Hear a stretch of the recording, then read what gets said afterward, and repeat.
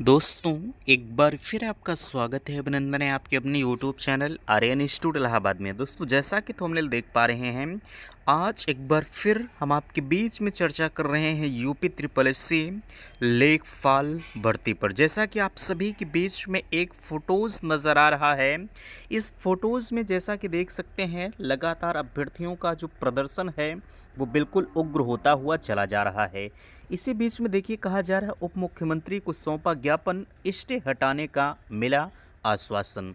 ज़ाहिर सी बात है, मैंने आप सभी से निवेदन किया है कि भैया जितना अधिक से अधिक आप एक छोटी सी संख्या में पहुँच कर यहाँ देख सकते हैं, बहुत ज़्यादा से ज़्यादा लोग जो है कम से कम आठ से दस लोग उपस्थित हैं और उप मुख्यमंत्री माननीय ब्रजेश पाठक जी को जो है ज्ञापन सौंपा जा रहा है।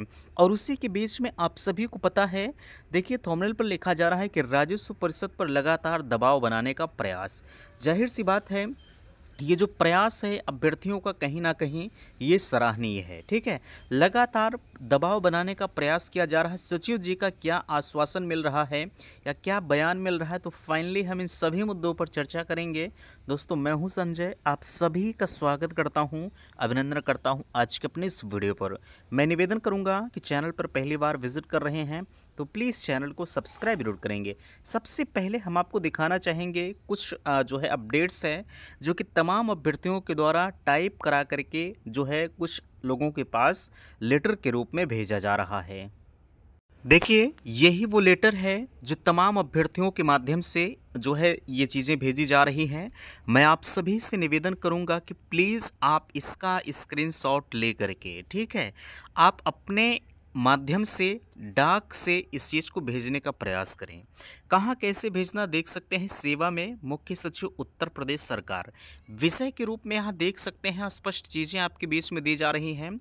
आ, मुझे इस पर कुछ कहने की ज़रूरत नहीं। विषय लेखपाल भर्ती में सुप्रीम कोर्ट में लंबित जो है वाद मिसलेनियस एप्लीकेशन संख्या दो सौ छिहत्तर ऑब्लिक दो हज़ार चौबीस। इन S P L E D ये देख सकते हैं पच्चीस आठ सौ अट्ठाईस ऑब्लिक दो हज़ार तेईस की पैरवी हेतु ठीक है? यहाँ चीज़ों को देख लीजिए। मैंने इसके बारे में कल एक विस्तृत वीडियो बनाया था क्या कुछ कैसे है वर्तमान समय में क्या कुछ चल रहा है? जैसा कि यहाँ देख सकते हैं, प्रार्थी ये सारे अभ्यर्थी हैं और उसके नीचे देखिए, यहाँ राजस्व परिषद सचिव जी के पास सेम यही लेटर है, ठीक है? अलग से इसमें कुछ नहीं है। ये भेजे जाने की बातें कही जा रही हैं। इधर देख लीजिए सॉरी देख लीजिए आपके बीच में और भी चीज़ें दी जा रही है। ये माननीय मुख्यमंत्री जी के पास इस लेटर को भेजा जाना सुनिश्चित हुआ है, ठीक है? ये भेजेगा कौन? ये आप सभी के द्वारा भेजा जाएगा। आप जितने भी लोग हैं ठीक है? यहाँ देख लीजिए फिर से हम आपको दिखाना चाहेंगे। देखिए यहाँ सेवा में आ, देख सकते हैं चेयरमैन सचिव उत्तर प्रदेश अधीनस्थ सेवा चयन आयोग ठीक है? ये सचिव जी के पास यानी यूपी ट्रिपल एस आयोग इस चीज़ को भेजा जा रहा है। यानी आपने इन सारी चीज़ों को देखा। अब मैं फिर से निवेदन करना चाहूँगा आपको लग रहा है कि नहीं इस काम को हम भी करेंगे तो बिल्कुल आप सभी से मैं कहूँगा कि अगर इस पीडीएफ की ज़रूरत आपको पड़ रही है तो डिस्क्रिप्सन बॉक्स में एक टेलीग्राम चैनल की लिंक है।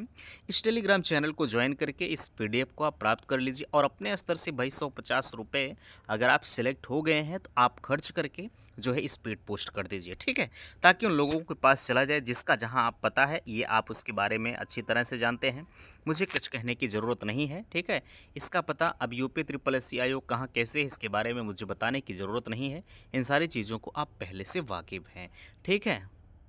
अच्छा यहाँ तक की चीज़ें आपको समझ में आ गई होंगी। अब यहाँ सवाल उठता है कि आखिरकार जो मुख्यमंत्री जी को ज्ञापन सौंपा गया, उनकी तरफ़ से भी आश्वासन दिया गया है कि इस मुद्दे पर हम शासन प्रशासन से बात करेंगे और स्टे हटाने को लेकर जो मामला है, इस पर भी चर्चा किया जाएगा। हालाँकि इनकी तरफ़ से आश्वासन दिया गया कि बिल्कुल आपकी भर्ती बहुत जल्द क्लियर होगी, ठीक है? बट राजस्व परिषद की अगर हम बात करें तो यहाँ के जो सचिव जी हैं, उनकी तरफ़ से भी लगातार अपनी ही बात को लेकर अडिग हैं कि आप सभी की भर्ती पर अर्जेंसी नहीं लगेगी। होगी। उनतीस तारीख को फाइनल सुनवाई लगी हुई है तो आपका मामला उनतीस तारीख को ही सुना जाएगा। उसके पहले सुने जाने के कोई भी चांसेस नज़र नहीं आ रहे हैं। ठीक है, जो लोग अर्जेंसी की बात कर रहे थे, अर्जेंसी लगना बिल्कुल ना के बराबर चांसेस है। हालाँकि प्रयासरत हैं अभ्यर्थी, फ़िलहाल के लिए जो भी होगा, जैसा भी होगा, हम चैनल के माध्यम से आप सभी को ज़रूर बताएँगे। ठीक है तो आशा करते हैं दी गई जानकारी से आप संतुष्ट हैं। प्लीज़ वीडियो को लाइक कीजिएगा, शेयर कीजिएगा और चैनल पर पहली बार विज़िट किए हैं तो चैनल को सब्सक्राइब ज़रूर कीजिएगा। मिलते हैं आपसे नेक्स्ट अगले वीडियो में। तब तक के लिए थैंक्स, धन्यवाद।